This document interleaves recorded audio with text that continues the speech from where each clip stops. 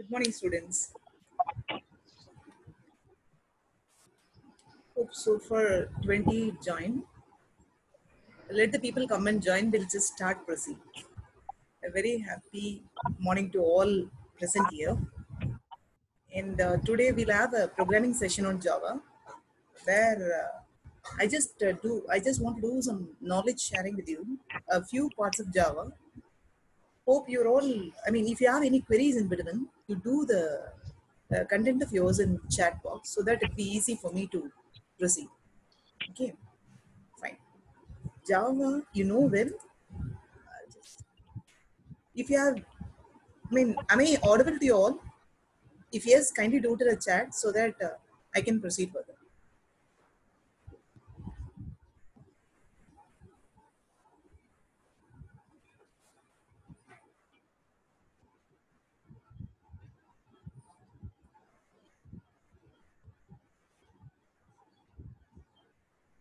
Yes, yeah, good. Super. Thank you.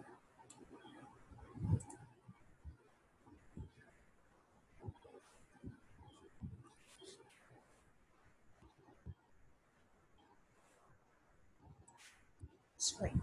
So we'll start proceed now. So Java is an object-oriented programming language that we all know. We used to say it is a pure object-oriented programming language. It's a pure object-oriented programming language we used to see. And probably you could have heard about, you could have heard about uh, one more thing there. This one more object-oriented programming language called C++. Just a minute, people are waiting in the waiting room. We'll just admit them. So it's a pure object-oriented. Pro- is it pure object-oriented programming language? Whereas if you take C++, it is not a pure object-oriented uh, language. What is this uh, pure and what is this unpure? So I'll just uh, show a small example there. Uh, if you run a code in C++ without a class, but uh, unfortunately in your curriculum you have not come with uh, C++. I'll give you a sample code of C++ now. You have a look at.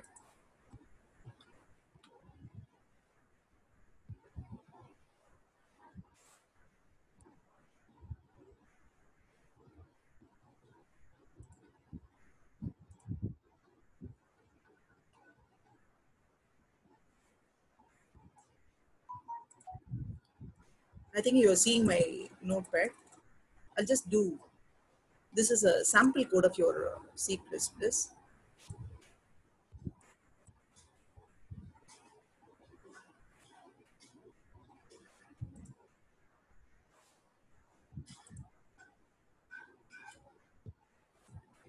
Where this is like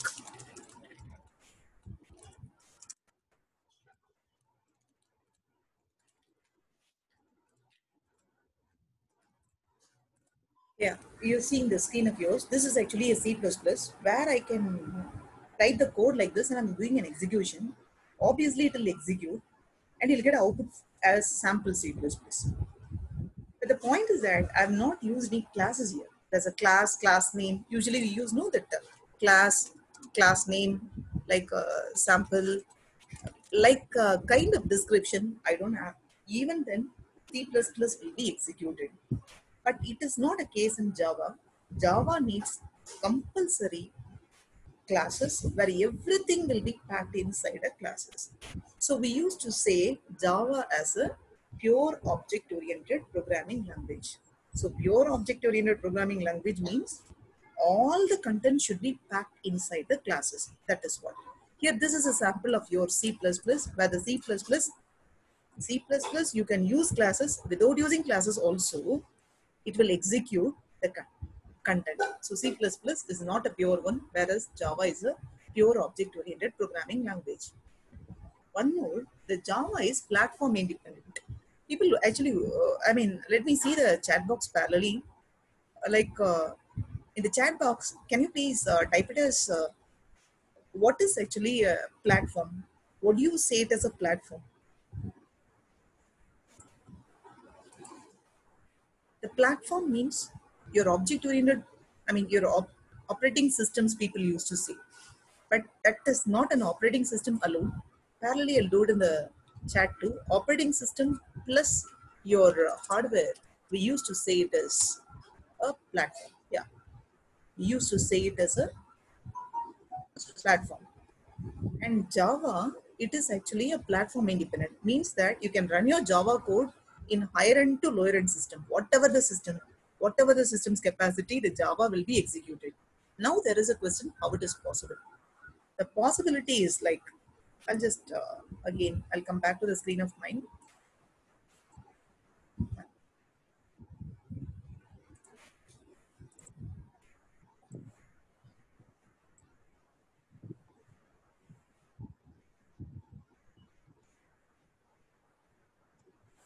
Yeah.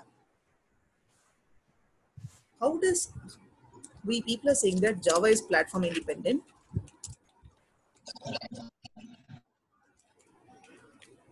Okay, platform independent means it can be executed in all kind of systems.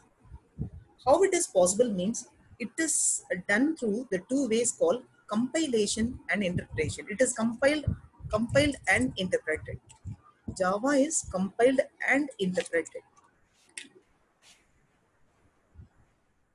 What is this compiled and interpreted? During compilation, what the Java does is that during compilation, Java does is like it converts the source code into source code into class. Okay, the class code. The reason for the class code, the class code is actually machine independent code. We used to say it is a machine independent code. Machine independent code.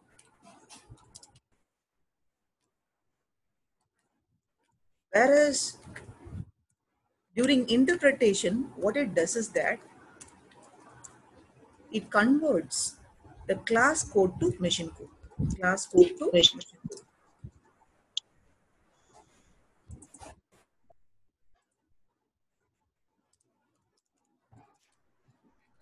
Fine. But the machine code is actually, the machine code is a machine dependent code. That's what the difference plays. So Java, we used to say it is a platform independent. What is actually a platform? The operating system and your hardware together only you have to say it as a platform.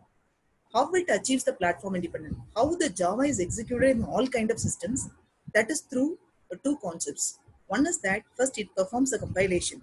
During compilation, it converts the source code, means your Java code into class code, where the class code is common to all systems, higher end to lower end. And once the class code is submitted, and you know well, the class code will be, or the it will be with the extension called dot class, dot class. And once the dot class file is created, that will be given for interpretation. During interpretation, the class code will be converted into a machine code where every machine will convert the machine code in its own format. That's why we used to say it as machine code is a machine dependent code. Machine dependent code. And now let's have a look at uh, a small uh, intro about your uh, Java architecture. Then we'll just directly get into a sample coding scene.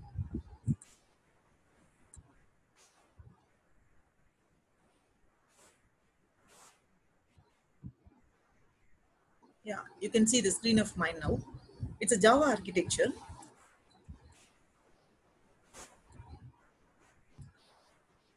Fine. Who is the one who predicted Java means everyone knows that it is James Gosling is the person who predicted. But he is not alone predicted Java. The team of people whom I've listed up to the front they are the people who predicted Java. And you know, the day when they predicted Java, they had a coffee and come out of the home. They were about to see the oak trees. So they just initially named the Java as oak. That's why it is named as oak initially. Later on, it has been converted to Java. And uh, these things I just now discussed, it is a platform independent. The reason for platform independent, I was very clear through the compilation and interpretation concept, it achieves the platform neutral. And see the Java code here. Initially, this is what your uh, Java source code. It is given to whom I said compiler.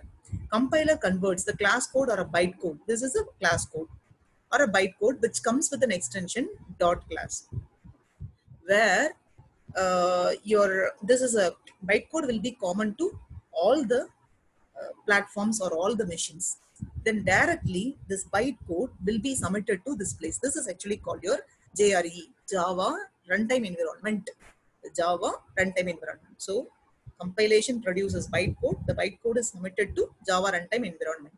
Here is the people you see here. This is the important one class load the class loader is the one which accepts the dot class file and it uh, at the same time it receives uh, remaining classes i mean the built-in classes from the java class libraries and the bytecode will be verified here.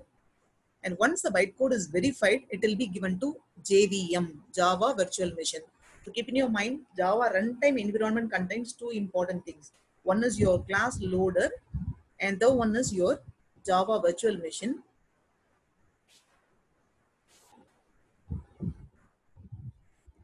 and the Java virtual machine comprises of your interpreter, what I mentioned. This is what the one which is responsible for converting the bytecode into machine code. And finally, it will be given to your operating system and hardware. And this is what I mentioned very clearly, your platform. So Java source file is given to compiler. Compiler converts that into a bytecode. Bytecode will be verified through the bytecode verifier. And uh, finally, it is submitted to the Java virtual machine. Java virtual machine with the help of just in-time compiler, it converts that class code into a machine code. And finally, that will be given to your operating system. Let's have a look at how it's happening practically. So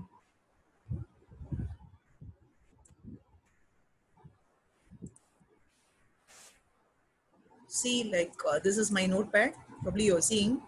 I'll write a small code here. Otherwise, I'll make use of just a minute.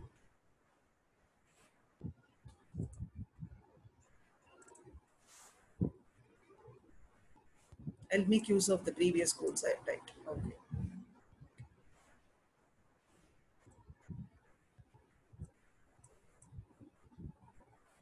And uh,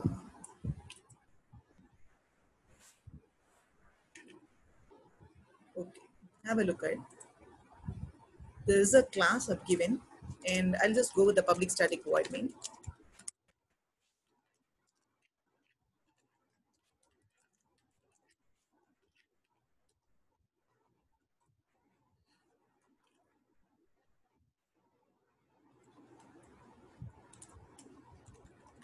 fine. It's a first class fine here. You people you can make use of a chat box if you have any queries in between. So I'll just see it accordingly. I'll do uh, changes. Here you see here the file name I saved it as sample. My class name is A1. Is this possible to proceed actually? Shall I proceed like that? Can you please uh, type it in the chat box? I'll just see it. Usually we used to say it as the class name and your file name should be same. Correct? The class name and your file name should be same. But here I have not done it. I have created a class called A1, but I saved it in sample.java. I'll save it again. Let me show you how to run the same now. How to run the same. So for what I've done, I created a class file which is the class name is A1, but I saved it under sample where I have only one main method which displays a message called main method. That's it. I'll just run this same in my uh, command prompt to have a look at now.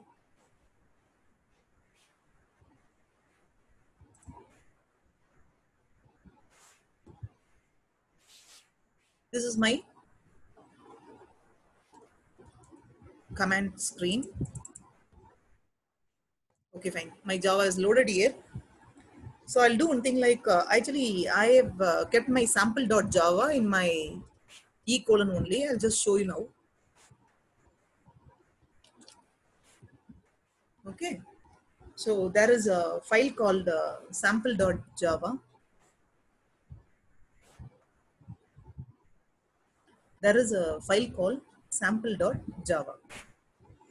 Uh, just a minute. Okay, fine. So I'm let me just run this code now. Java C space. First, I'll compile it. You know the compilation. The compilation, what it does is that it converts your Java code to bytecode. And the bytecode will have an extension called dot class. Fine. So I'll just run it like sample. If I press, uh, if I press tab, automatically it will be displayed. If I press enter, you know, there is no mistake in my code. It seems that it is not throwing any error for uh, keeping the class name as A1. But uh, let us have a look at after this. Let us see what are all the dot class files created after this sample.java compilation. So if you go with star dot class, you can see see there is a a1 dot classes created. We saved the file name as sample.java. In sample.java, we have a class called a1 system actually will not create a dot class file based on your file name. It is based on the class which contains a main method. So A1 is a class in my code which contains a main method. So A1 dot class is created. Now I have to go to the next one called interpretation. Compilation is over. So after the compilation, this uh, A1 dot class will be submitted to the class loader. Class loader verify the bytecode and submit the same to Java virtual machine as I've shown in my screen. I'll just show the screen again so that will be giving clear compact to you. Just show you. Yeah. So I created a .java file and I saved it in sample.java and uh, it is being given to Java compiler through the command java c. Then the dot class file is created. Just now I've shown you. There is a1 dot class file. That's a bytecode and the bytecode will be again given to by default. The system will be submitting that to the class loader. And the bytecode will be verified and we have to call this java virtual machine now. So i'll just call the java virtual machine. That is done through the command java. So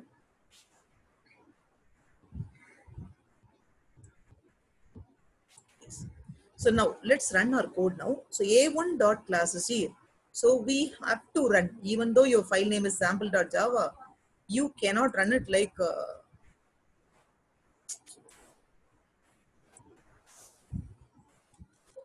you cannot run it like java space example it throws an error. There is no find or load. The main class is not there. Like that it throws an error. So i'll do one thing like i'll run the same with a1 now i'm getting my output the point is you don't need to keep your class name as well as your file name as same but the reason for keeping that two as same is for our comfortable zone. Comfortable zone in the sense, uh, I mean, we cannot recollect every time what is your file name, what is your class name. If you know the class name which contains the main method, then only we can compile it through your, uh, uh, I mean, Java, Java C space and Java space file name. It's hard to keep in our mind every time. That's the reason what we used to do is that we used to keep the file name as well as the class name as same. This is the first one I thought of saying. Let's see. Like, I think students can make use of a chat box so that I can get some queries from you if you have any queries.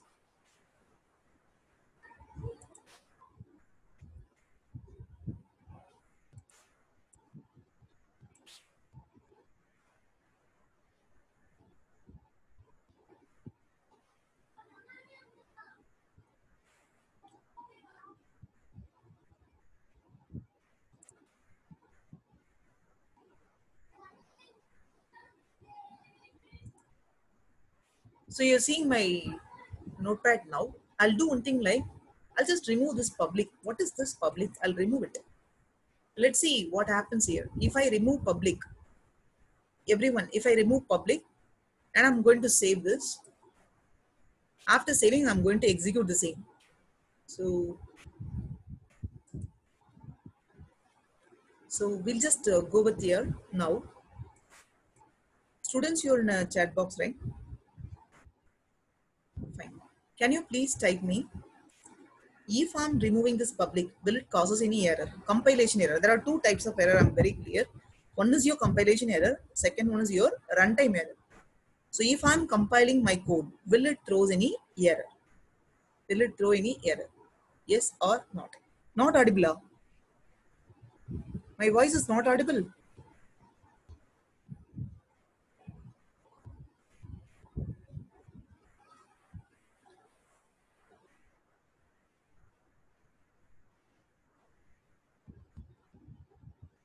Audible, no? Fine. Okay, fine. Okay, fine. So, if I'm executing a code just by removing public, will throw an will it throw an error, either compilation or runtime? Which one will be thrown? So for no answer here, right? So I'll keep it as there's no error. Fine. But actually, it won't throw a compilation error. You just wait and see. I'm executing my code again. So I've shown the code. Anyway, I'll show it again. Have a look at the code. For the people, those who are joining new, I'll just show the code again. And we'll just try to execute the code. We'll see what kind of error it throws actually.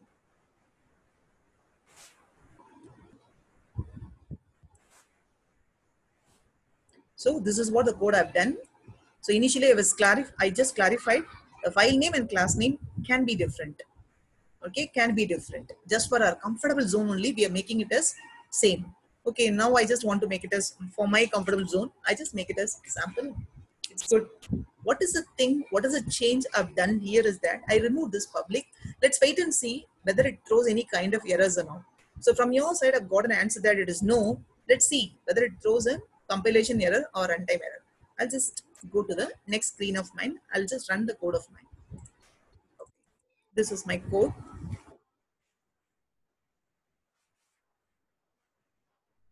Okay.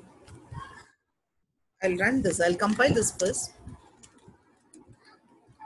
So during compilation, obviously, as you said, there is no compilation here. The compilation doesn't bother about your, it just checks your syntax. The syntax, everything is paka. Yeah, public is actually an access specifier that says that uh, it can be accessed outside the class. That's what the point. Now, uh, what is a dot class file which will be created here? Actually, I'll just show you now. After the compilation, I'll show you what are all the dot class file created. You could have seen recently created file is your sample dot class. The A1 dot class is previously created by us. Now the recent file what we have created is sample dot class because just now I changed the class name of minus sample. Now let's start compile this one. So if I start compile Java space sample and press enter, it throws an error because it cannot find a main method because I'm not declared that under a public. Actually, what is the meaning of Java sample is this sample will be Java sample will be considered the system as this sample will search for the main method. The main method is not declared under a public, so it cannot access the main method over here, so it throws an error. So that is the main reason we are giving compulsorily we are using the syntax public. I'll come back to the static now. So I think you hope, I hope that you clear about the public. The public says if you mean it as public, you can access the main method outside, otherwise it throws an error. Now let's do the change there and we'll try to run the same again now.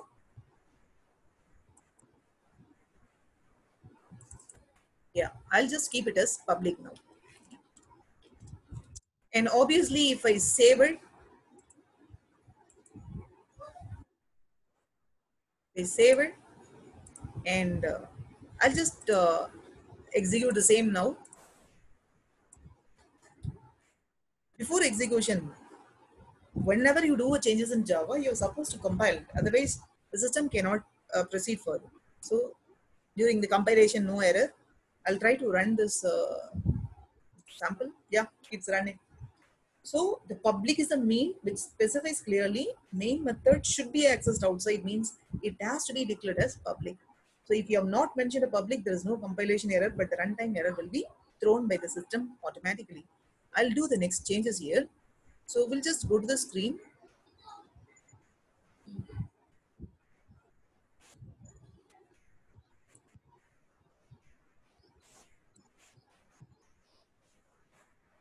We'll go to this uh, code again and where I'll remove this static. Again, there is a point, static. So I remove the static. So obviously, if I save it, okay, if I save it, what will happen then?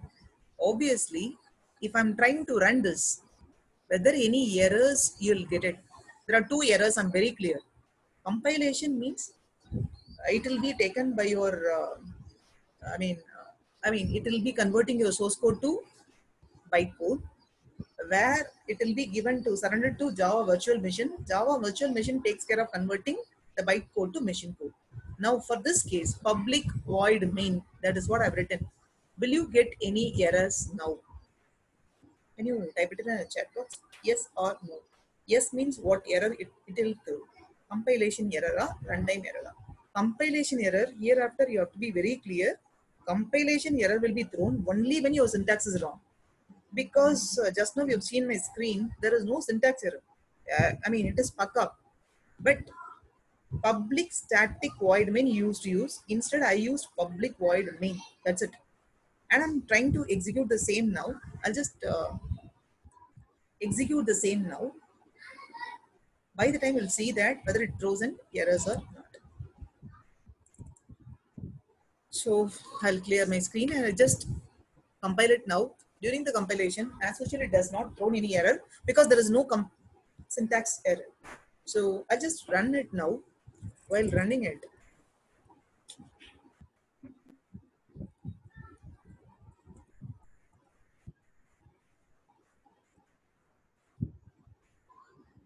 Okay while running it it throws an error. What error it throws you please have a look. At it. it is not a static method. What is a static method actually? The method which will be invoked by the class name directly is actually called your static method. Uh, i was very clear. When you are typing this uh, java space uh, sample it will be considered by the system as java sample dot main. Sample dot main means um, like the class name dot main method will be invoked automatically. But here is a case. If I'm doing it, it throws an error. So in order to avoid that only, we are using the static method. I'll show you the changes here. You please have a look at. Okay. I'm just making it as static. Different. Okay. To give a clarity about the static method, I'll do one small point here. Class. Class. Okay a1 in the class a1 i declare one uh, static method. Void. Sorry static void. Okay. Static void. Display where I plan to display, it's a static method, that's it.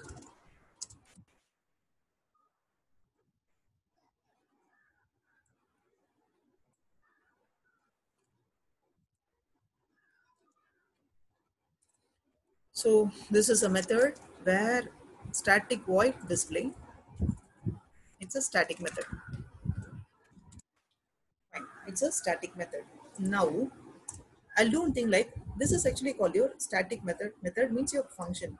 So it just begins with a keyword called static.